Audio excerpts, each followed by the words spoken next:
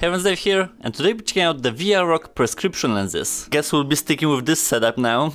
I was looking for a lot of possibilities since I don't have my glasses anymore, and this kinda won the competition, so we'll go with it. Today is kinda like a historical day for me on the channel since what we'll be doing is a first ever brand deal that I got with all the codes and stuff. It feels weird, just like I got my first code to the game in the past. In most YouTube careers, brand deals play key part in their channel growth, and I guess I'm slowly joining that circle as well. In my classic fashion though, if something is bad, I'm gonna tell you that. And now to think of it, this video will actually be a good representation of that, so let's see. So today on the palette we have VR Rock prescription lenses. For almost 3 years up until recently, I was using WIDMOvr ones and I bought them back in the day when I was still using Quest 1 and then surprisingly I could fit them on my Quest 2 as well. So essentially I doubled the life of it. lenses for someone that has an average prescription I would say play a very big part in the VR experience. I mean if you don't see see anything, then what's the point? There's a possibility to play with glasses overall, and that is very rocky if you're talking about the shape, the depth, the material. Most of the time it would end up scratching the original ones, so I feel like investing in this particular accessory is pretty mandatory to say the least. Those were the lenses that I was using constantly, and those are the VR Rock solutions. I'll give you a quick moment to compare the photos and see what's missing from those.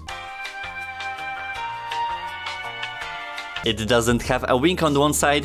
Essentially what I did is I filed this down because when I was wearing them like in the headset, it was like crushing the top part of my nose. Unfortunately after fixing it, it was still the case. Bear in mind I'm using the first setup of like the IPD adjustment and my eyes are like extremely close to the actual lens and on top of that my nose is not even straight like if you see it's not even a straight line. I feel like this brand deal was just cursed for me in every way possible. Like the lens actually work is just not suitable for me at all. If I compare the two, for example, the thing with WIDMO is that it has like a curved slope, so your nose is not like getting crashed into the headset. Doesn't matter what IP adjustment you have or the size of the nose. On the positive side, in the first couple of minutes that I could even review it, VR Rock is a bit closer to the original lens, so that essentially results in a higher field of view and you don't have like a black border on your perimeter of vision. The only way I could make it work is putting the IPD adjustment to the 2 setting, but then the image is kinda blurry for me, so all in all I just can't use it. Those are pretty much my thoughts on it, it kinda just sucks that I won't be able to get out anything from it. Then again, I'm not using lenses anymore, so there is a somewhat happy ending to it. I would say if you have a straight, smaller nose than me, and the IPD range in somewhere around 2 setting, then those lenses would be perfect. As part of any brand deal ever. I have a discount code for, I believe, any product they sell on the site. And it's just called Dave, like 5% of the overall purchase. Pretty small one, but hey, we have to start with something. With the brand deals moving forward, in every video's description, like I do it anyways, I'm gonna have a separate section with all the links and codes. And that's pretty much it. Somewhat a new chapter for the channel. A bit rocky, I would say, but I can't have everything at the same time. See you around!